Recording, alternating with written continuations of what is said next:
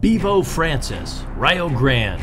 As a freshman, Bevo Francis led tiny Rio Grande to a perfect 39 0 record while averaging 50.1 points per game, scoring 116 in one game.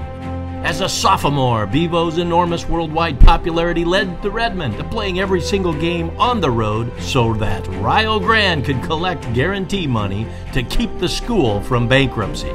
During Bevo's second season, he scored 113 points in a single game and averaged 41.7 points per game, while the Redmen defeated Wake Forest, Miami, Arizona State, Creighton, Providence, and other major college programs, finishing with a 21 7 record. During his remarkable two year career, Bevo scored an outstanding 3,273 points and shot 68% from the field, is often credited with saving the school, Rio Grande, from bankruptcy.